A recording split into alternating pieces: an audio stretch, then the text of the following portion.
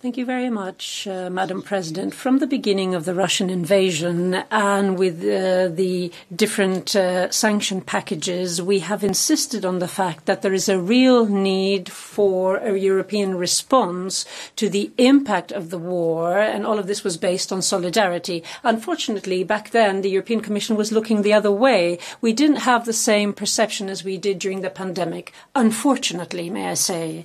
But now I'd like to talk about the European Council. I can see that on their agenda uh, you have the uh, Russian invasion in Ukraine Okay, fine. There's also going to be a debate on our relations with China. Now, I'd like to address the Council and say, when are you going to discuss the Trojan horse of Erdogan in Europe? Uh, and of course, I'm referring to Turkey and Mr. Erdogan, and especially after the Commission's report, which uh, clearly reflects the illegal actions taken by Erdogan and also his ruthlessness.